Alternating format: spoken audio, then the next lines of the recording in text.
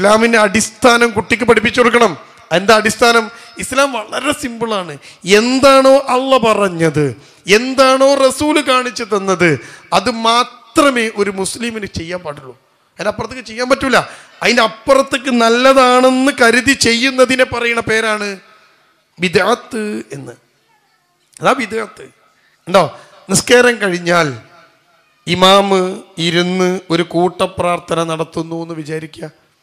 അപ്പൊ കരുതുക അറിയോ? നല്ലതല്ലേ? ഇമാമ് തെറിയൊന്നല്ലല്ലോ പറയണത്. അള്ളഹാനോട് പ്രാർത്ഥിക്കല്ലേ ചെയ്യണത്. അതിനെന്തിനാ നമ്മൾ കൂടാതെക്കണത് എന്ന് ചോദിച്ചാൽ അത് അങ്ങനെ ഒരു സാധനം റസൂൽ നമുക്ക് കാണിച്ചു തന്നിട്ടില്ല. അതുകൊണ്ട് ചെയ്യാൻ പാടില്ല. നല്ലതല്ലേ? നല്ലതല്ലേ എന്ന് കരുതിയിട്ട് ചെയ്യുന്നതിനെയാണ് വിദഗത്ത് എന്ന് പറയാം. കുല്ലു ബിദാത്തിൻ വലാല കുല്ലു വലാലത്തിൻ പിന്നാർ എല്ലാ ബിദാത്തുകളും വഴികേടാണ്. വഴി വഴികേടുകളെല്ലാം നരകത്തിലാണ് എന്നാ റസൂൽ പഠിപ്പിച്ചത്. ഇത് കുട്ടികൾക്കും പഠിപ്പിച്ചു കൊടുക്കണം. എല്ലാം അങ്ങനെയാ. എന്തുകൊണ്ടാണ് ഇന്ന ആഘോഷം ആഘോഷിക്കാൻ പറ്റാത്തത്? അത് റസൂൽ ആഘോഷിച്ചിട്ടില്ല. റസൂൽ പഠിപ്പിച്ചിട്ടില്ല. റസൂലിന്റെ സഹാബികൾ ആഘോഷിച്ചിട്ടില്ല. അവർക്കൊന്നും ഇല്ലാത്ത പുണ്യം എന്തിനാ നമുക്ക്?